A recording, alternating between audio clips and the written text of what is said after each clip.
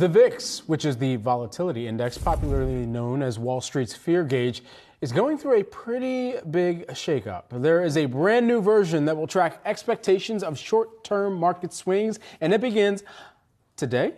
But what does it exactly do?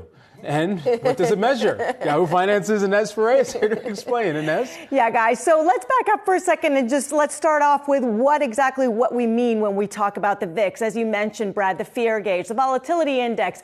It's a measure of expected swings in the S&P 500 in the next 30 days. Now, the VIX is calculated using derivatives or option contracts that expire 23 to 27 days into the future. It's calculated in real time. And historically, when you see spikes in the VIX, it has coincided with financial distress. But traders have been noticing that this year and last year, there, there seems to have been more muted levels. So it's worth noting also that the contracts captured in the VIX expire, as I mentioned, every 20, 23 to 27 days. So the suspicion is that the VIX isn't capturing near term sentiment. It's not taking into account a hedge, which has become increasingly popular, and that's options with with zero days to expiration.